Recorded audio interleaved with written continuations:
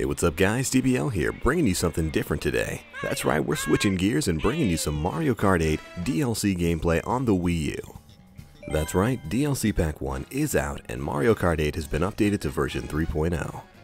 That's right, we're going to be showing you guys some of the new features provided by the system update, and we'll be going over all of the new characters, tracks, and vehicles found in DLC Pack 1.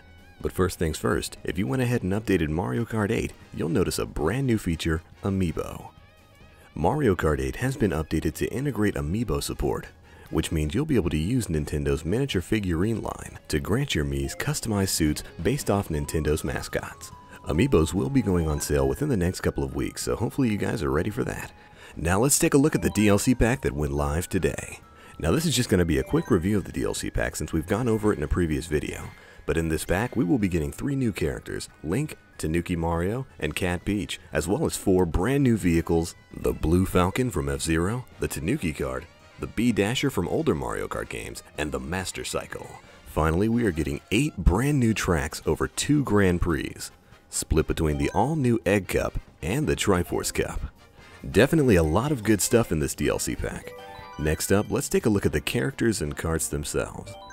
As we head onto the character select screen, you'll notice that you can now select the brand new DLC characters Link from The Legend of Zelda, Cat Peach from Super Mario 3D World, and finally, Tanooki Mario.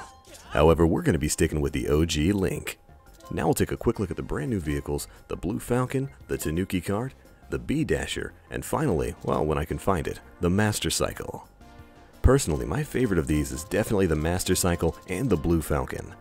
I especially love the detail on the Master Cycle, complete with Hylian shields. This cycle even gets its own specialized wheels and a glider, fully featuring the symbol of the royal family of Hyrule. Alright, next up, let's take a look at these new tracks. In the Egg Cup, we've got the GameCube Classic Yoshi Circuit, the Excitebike Arena which is brand new and looks really fun, Dragon Driftway, and finally, Mute City from F-Zero. And then in the Triforce Cup, we've got Wario's Gold Mine from Mario Kart Wii, the original Rainbow Road from Super Mario Kart on the Super Nintendo, a brand new track in Ice Ice Outpost, and finally, Hyrule Circuit, which is actually the track that we're going to be displaying in this video right here. But alright, that pretty much covers DLC Pack 1 for Mario Kart 8. From here on out, it's going to be nothing but gameplay. Hopefully you guys enjoy, and as always, I am the Black Link. You guys, stay frosty.